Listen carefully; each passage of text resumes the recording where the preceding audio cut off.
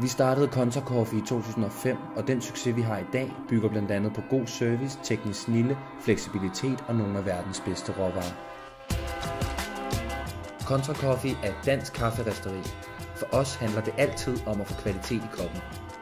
Fra vores kontor på Jernholm knokler vi for at lave de bedst tænkelige kaffeløsninger. Vi er med hele vejen rundt om kaffen, fra den bliver pakket og bragt hertil, og til vi rester, blander, opbevarer, mærker og transporterer. Intet er tilfældigt. Vores teknikere er klar til at rykke ud 24 timer i døgnet, så alle maskiner er funktionelle, når de skal bruges.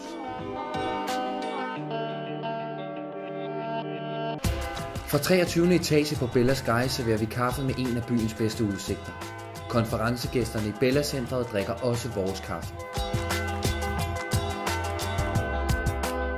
Fra vores butik på Østerbro sælger vi bønder, maskiner og tilbehør til private, og du kan altid komme ind i vores butik og lære, hvordan du brygger en god kop kaffe, eller deltage i vores barista-kurser. Vi går grundigt til værks og sørger for, at alle vores kunder får den hjælp, service og vejledning, de har brug for, for at få lige netop den kop kaffe, de synes er den bedste.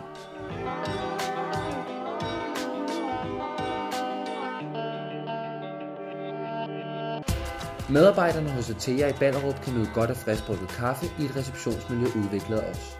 De ansatte kan bestille deres kaffe igennem en mobilapplikation udviklet af Atea, så kaffen står klar, når de ønsker det.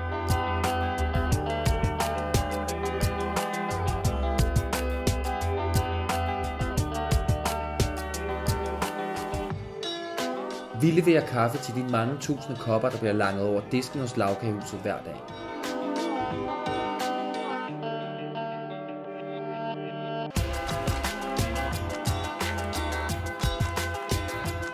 Vi serveres med et smil på mange af de mest populære caféer, og vi har for eksempel et tæt samarbejde med Original Coffee, som har vundet prisen som årets kaffebar fire år i træk.